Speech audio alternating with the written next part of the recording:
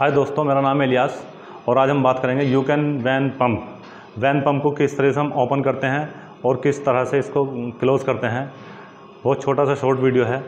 चलिए शुरू करते हैं आज का वीडियो। वीडियो शुरू करने से पहले अगर जो आप मेरे चैनल पर नए हैं तो प्लीज़ इसको सब्सक्राइब करिए और लाइक करिए और ज़्यादा से ज़्यादा शेयर करिए। चलिए शुरू करते हैं आज का वीडियो।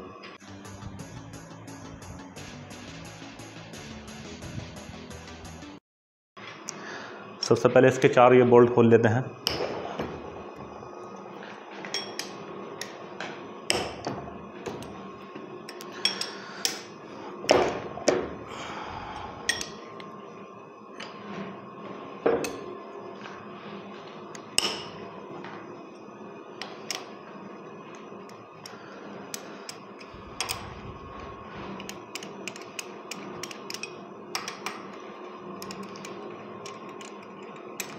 वैसे तो पंप को खोलना कोई बड़ी बात नहीं है, पर जो लोग पहली बार खोलते हैं, इसमें छोटी मोटी मिस्टेक हो जाती है, उनके लिए वीडियो बहुत फ़ायदेमंद रहेगा।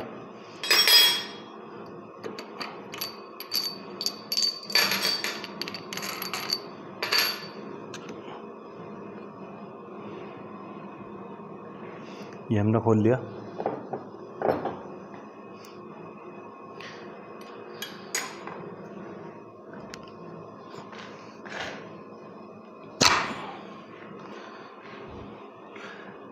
ये इसकी कार्टेज होती है किट होती है ये। इसी के अंदर इसके क्या ना वैन होते हैं। इसके अंदर इसके वैन होते हैं।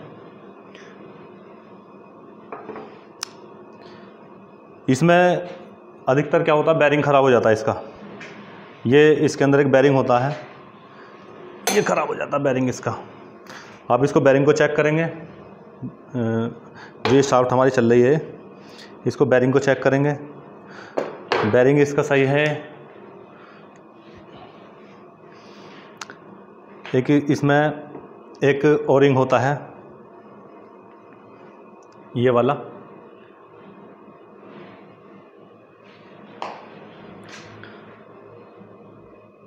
ये वाला ओरिंग होता है कि इसके अंदर। ये ख़राब हो जाता है कभी कभी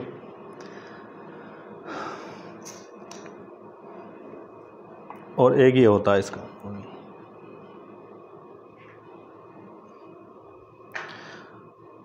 इसमें ज़्यादा कुछ नहीं होता है कार्टेज होती है, ये होता है और इसका ये होता है। तो इसको दोबारा हम फिट करेंगे।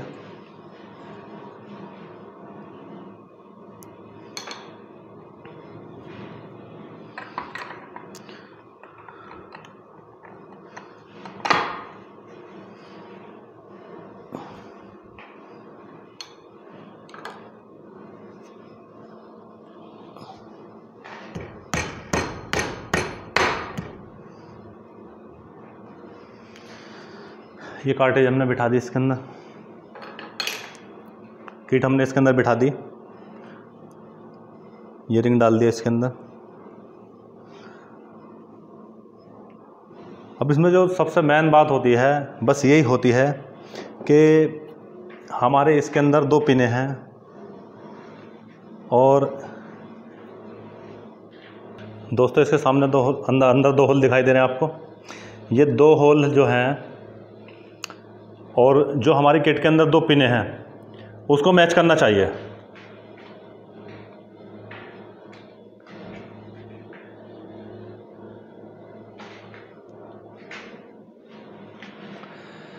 ये हमारी किट के अंदर जो दो दो पिने हैं, इसको मैच करना चाहिए।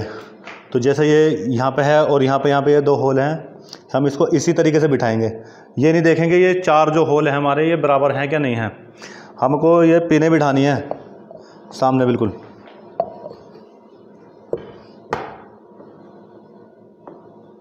ये पिन हमारी बैठ गई इसके अंदर। हल्की सी लूज़ होती हैं देखो, ऐसा हिलता हुआ दिखाई देगा। और इसको बिठाने के बाद में हम इसको जिस एंगल में रखना है, मान लो आपको ये वाला एंगल रखना तो यहाँ कर लीजिए।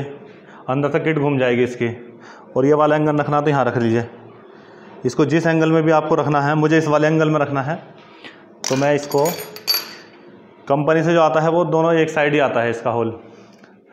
इनका भी और आउट का भी। तो मुझे फ़िल्टर वाला नीचे रखना है और जो प्रेशर वाला ऊपर रखना है तो मैं इस तरीके से इसको फिट कर लेता हूँ। जो सबसे मोस्ट मैन बात है वो यही है कि इसमें जो साइड है हमारी, जो पिन जो हैं वो बिल्कुल जो है ना, उन्हीं होलों में बैठनी चाहिए। कभी कभी लोग बाग क्या करते हैं कि इसको कहीं भी रखा और बोल्ट टाइट कर दिए तो पंप हमारा काम नहीं करेगा। और किट हमारे डैमेज होने का भी खतरा उसके अंदर। दोस्तों, आपको ये मेरा वीडियो कैसा लगा? अगर तो अच्छा लगा तो लाइक कीजिए और मेरे चैनल को सब्सक्राइब कीजिए और इस वीडियो को ज़्यादा से ज़्यादा शेयर कीजिए।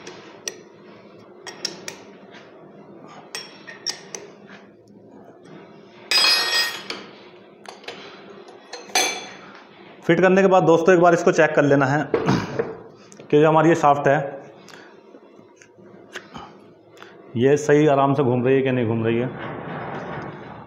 नेक्स्ट वीडियो में हम आपको बताएँगे इसके किट किट के बारे में भी किट किस तरीके से खोलते हैं और उसको कैसे ओपन क्लोज करते हैं। और जो कंपनी से इसकी सेटिंग आती है, वो ये तेल जब भी पंप हमारा काम करेगा, जब ये यहाँ से क्लॉक वाइज घूमेगा, इस तरीके से। एंटी क्लॉक घुमा एंटी क्लॉक भी काम कर जाता है वो मैं आपको आगे बताऊँगा इसमें कि एंटी क्लॉक किस तरीके से काम करेगा। पर कंपनी से जो सेटिंग आती है, उसकी क्लॉक वाइज ही सेटिंग आती है। इस तरीके से घुमाएँगे तो काम करेगा, नहीं तो नहीं।